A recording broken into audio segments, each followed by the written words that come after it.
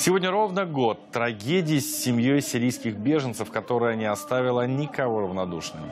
Фотографии мальчика, найденного на пляже турецкого курорта Бадрум, шокировали весь мир. Трехлетний Айлан стал символом печальной участи сотен тысяч беженцев. Вместе с ним погибли пятилетний брат и их мать.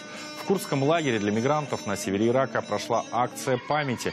Беженцы своими силами реконструировали трагические события.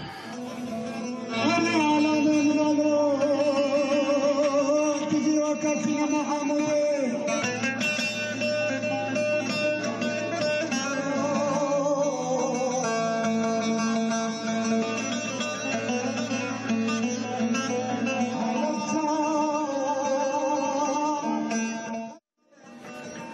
На памятном представлении присутствовал отец погибшего мальчика Абдулла Курди. Он с трудом сдерживал слезы. Сейчас он проживает в иракском Курдистане. Сразу после трагедии отец погибшего семейства призвал мировое сообщество решить проблему беженцев, которые пытаются укрыться в Европе от войны на Ближнем Востоке.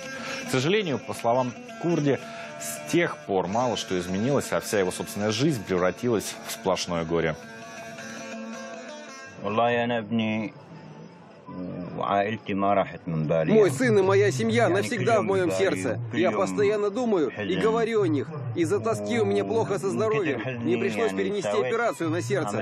Я постоянно наблюдаю похожие события. Люди умирают каждый день.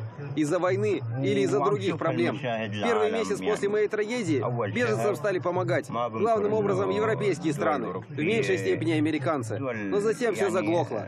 Мы перестали даже слышать о какой-либо помощи. Не было ничего вообще. Вместе с двумя сыновьями и женой Абдулы Курди год назад погибли еще 9 сирийских беженцев. Все они направлялись из Турции в Грецию. Через морскую границу их переправляли контрабандисты. С каждого мигранта они взяли по 300 по 1300 долларов. Когда они уже плыли в море, началось сильное волнение. Проводник выпрыгнул и уплыл, а лодка вскоре перевернулась. Полчаса Абдулла а, удерживал своих детей на поверхности воды, но силы оставили его. Береговая охрана вытащила самого Курди на берег спустя лишь три с половиной часа.